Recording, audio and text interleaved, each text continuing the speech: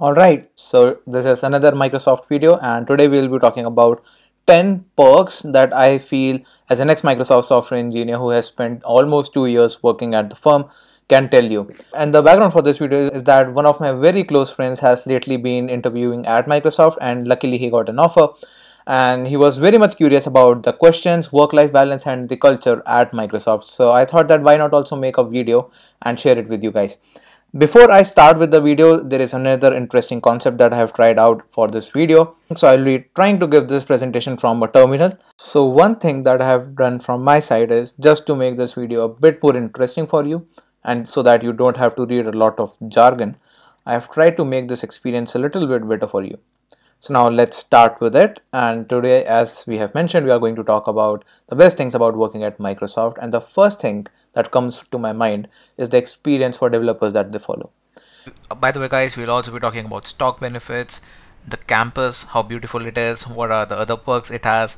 So make sure to watch the video till the end. And what I would like to say is that at Microsoft, they have really made it very easy for college graduates as well or even if a professional software engineer from open source background or from different background different languages um, if he is coming to work at microsoft i think it's very easy for them to connect and like really be productive one of the reasons for that is their integrations like they have everything in one place even if you talk about their visual studio code editor not vs code i'm talking about visual studio uh, I think the latest one is 2019 version and I think it's super good. They have inbuilt debugger as well as they have Git integrations. So if you are a like uh, I would say professional, of course you would be knowing Git, but if even if you're a college graduate, you don't have to like really understand a lot about using Git and how to use it. It's super intuitive how they have built it, crafted it out in their own inbuilt editor. It's super good and um, they also allow you to publish to Azure resources directly from their editor and which is like super cool. One other thing is that since you are using the same technologies across different teams at Microsoft, because all technologies that you are using belong to Microsoft. So it's quite easy for you to switch from one team to other as well. And we will come to that as well because that's a great perk. The other thing is that if you are a software developer, you probably know about Jenkins or Jira, which are something like make your team productive. So Jira is used for project management and Jenkins is something like um, whenever you merge something into your master you want that a build should be triggered and that notion of continuous build continuous integrations. So all that you can achieve using jenkins. Um, what i would like to say is that at microsoft jira jenkins and even your something like github where you host your source code everything is crafted into one portal which is azure devops. The name had been changed recently. And i think it's super cool that as a developer you can just go look at the different repos. You can see the different wikipedia links right from there. You can also see the different people who are working on that and i think one portal having all those integrations provide a seamless experience for developers of course. Moving on um, i think this would be something interesting. Uh, stocks and money benefits. So let's talk about the stock trend which is super powerful. So right now the price is 161 and you might see something as it's going down but uh, like i joined in 2017 and now it's 2020 so uh, let's see the graph for last five years. As you can see it's going super great right? Like always going up. And when i joined at 2017 the price was something in the notion of 60s and 50s right? As you can see over here. And like just believe the improvement it has given out of that. Like it's 162 right now. And uh, i think it's almost close to 3x growth. So if you join microsoft and you got let's say 20 lakhs of stocks or 30,000 US dollars for example those would have been now something like 60 lakhs right so as software engineers who are like really joining Microsoft from college, I think it's super cool. And they do provide a little bit less base salary, but their stocks compensate more than that for that. And also, I would like to mention that if you are a software developer, you might not be doing a lot of financial investments. And I see this as a very good way wherein Microsoft is giving you stocks. So you have invested some part of your money into markets, which is also a good thing because you're not going to do that on your own but anyways i think microsoft stocks are doing tremendously great and apart from that they also have stock refresher award which you get at the end of year based on your performance and as you grow more and more higher positions at microsoft the award range will also increase. So if you perform good at higher levels, you will get tremendously huge uh, stock refresher awards. Apart from this, they also have annual bonuses in terms of cash. I'm not talking about the joining bonus. So yeah, that's also one other thing at Microsoft, which is pretty great, I think. Education again, Microsoft really invests a lot on your uh, on their developers. I mean, like they have their own library, and I remember I have I'm never a person who is like more into books or something.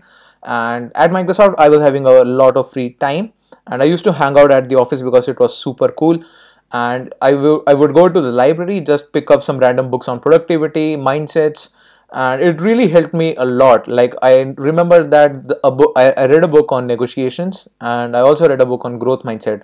Those two books were tremendously like useful in my life. And what i want to say is that you don't have to basically worry about buying books or something. You have a lot of access to a lot of premium content and all you need is a little bit push from inner self that you have to do things because you have everything. It's just how much energy you have to use them. Again they have free Pluralsight subscription and linkedin learning. And i think i messed up with the spelling. It should be Pluralsight. Yes. And that's one of the other things which i love about presenting in terminal. I can change stuff on the fly.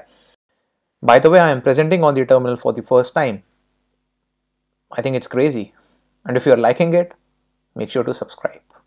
For higher studies they are going to cover i think up to 2 lakhs of uh, amount or expenses per year which is again very good. If you're doing masters or mba this would be super cool. And i do have a lot of friends who have used this. So i mean i don't think a lot of companies do this for their developers. All right uh, let's see what else organized and planned. Uh, this is something which I again miss at Microsoft. Um, so Microsoft is huge. It has a lot of history, and what I have seen is that everything has a proper procedure, right? Even if let's say your team is building some API and all everything is fine, you are doing things on your own. Um, but when you have to deploy this to outer world on the internet, there is a separate security team and a separate process that you have to follow. So someone from your team will be working or will be the point of contact for those security experts and they will be talking about like they have a fixed procedure and they will be doing certain checks with you on your product on your API and only if everything passes only then you can release your API to the outside world. So I think this is also again very organized and planned and a lot of startups will not be having such things. Um, again, proper track of best standards. This is another favorite one of mine. And CredScan, release from master, Azure compliances. So these are some standard practices good software engineering teams should follow. And right now in your company, let's say you're working at some like any software engineering firm, do you think about how your leadership is measuring which teams are doing good? Of course, if they are generating revenue, that's one of the measurable indicator. But how do you measure their code quality, right? And in those cases you need to follow certain engineering practices.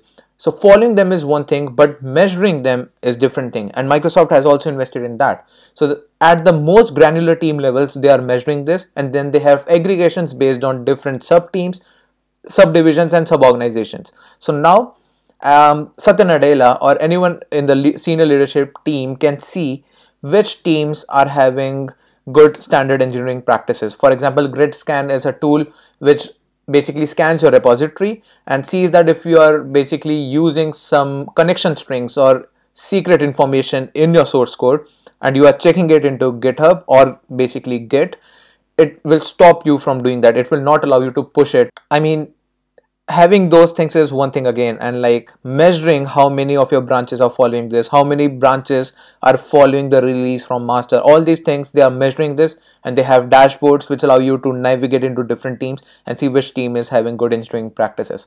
Moving on to the campus. Ah i love this one.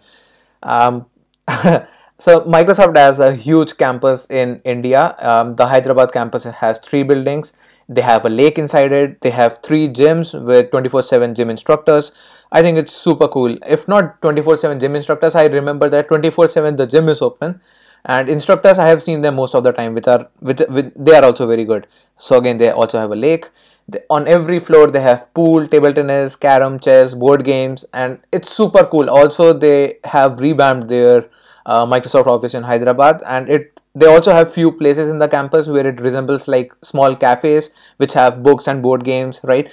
So I think it's pretty amazing to work in a place like that. It, it really motivates me to get out of my house and go to such a beautiful campus and like really code in such a soothing place. All right, uh, moving on. I think One ID Card Global Access is another interesting one. And what it allows you to do is that when I was on business trips in Microsoft, when I went to US, uh, just same ID card can be used to enter any building. And when you're talking about Redmond, they have 120 buildings. I think they might have increased even more.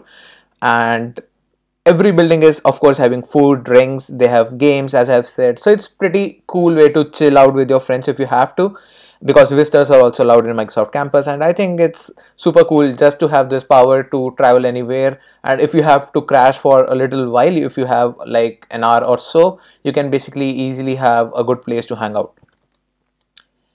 Alright, uh, again this is pretty interesting. And collection of startups of course Microsoft is huge. And one of the things I have seen is that they have so much of work so much of different teams you will never get bored. You can stay in the same company for years and years. You can have a very strong network. A lot of people know you so it's very easy for you from one place to another place. And you'll never get bored. Like if, what i have seen is that a lot of people take jumps for basically doing a new kind of work because they are bored with their current work. But at microsoft you have ample of opportunities. You just need to have your connection which will allow you to know what's happening in what place. And based on your interest you can take a fair shot and make a switch. And the good thing is when you're making this switch your basically performance you're still in the same company. So everyone knows that based on your history like you were really performing good and this is something which you kind of lose when you are moving to a new different firm because you have to build your reputation again. And i really love this thing at microsoft. Like it really allows a developer to live his or her life in the way they want. Again changing teams is not a taboo which is important stuff because i've seen even now there are a lot of good huge software brands where if you're trying to change teams their managers pitch about that and basically you are screwed. And this is something which really is good at Microsoft. I think the managers, most of them will really support you. Uh, of course, you have to perform and build a reputation first, but they will support you so that your career, uh, basically your career goals are aligned with the work that you are doing. Again, uh, one of the side perks is the huge events and parties. They do have certain kind of festivals or I would say parties every now and then and they also invite like huge singers and huge bands and they do have like amazing parties as well. So i thought that this video would give you a kind of an idea about the things that you can expect at microsoft. Of course uh, i was not able to cover a lot of things but i think that this was uh, pretty amazing. Let me know in comments what you think about this and i'll see you in the next one guys